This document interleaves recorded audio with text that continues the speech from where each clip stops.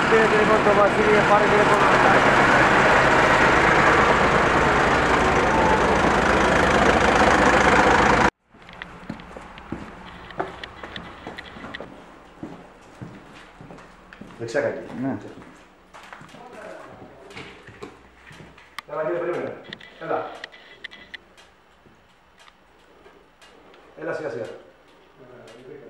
Πάμε.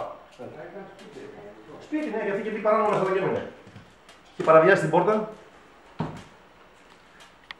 Περιονόμος Νικολάου Κωνσταντίνος. Κύριε Νικολάου, τι ακριβώς έγινε σήμερα το βράδυ; Σήμερα περί ώρα και 21 και 25 ειδοποιηθήκαμε για πυρκαγιά σε οικία στο χωριό Αγία Τριάδα.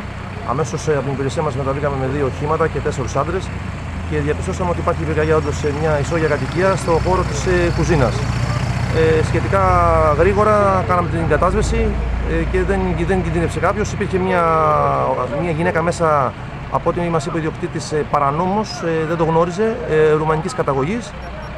Και Τραυματίστηκε? Δεν τραυματίστηκε. Απλώ ειδοποίησε ο ιδιοκτήτη στην αστυνομία και ανέλαβε η αστυνομία τα περαιτέρω. Δεν έχει πάσπορτ. 31-63, δώσε με την ίδια πίεση.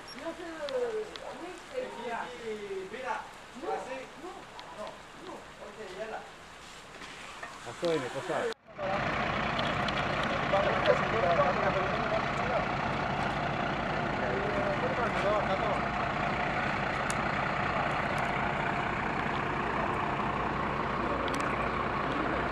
Mira, mira, mira. ¿Qué es lo que pasa? ¿Qué es lo que hace? ¿Qué es lo que hace?